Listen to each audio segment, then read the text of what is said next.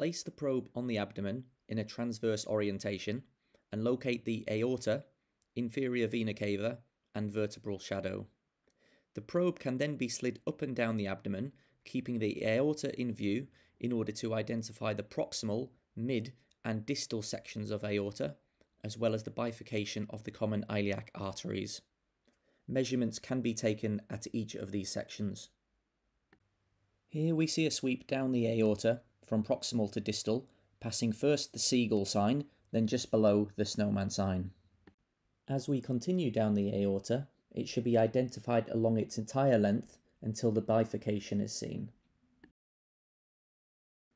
Keeping the aorta in view, the probe can be rotated 90 degrees clockwise so that the probe marker is pointed towards the patient's head.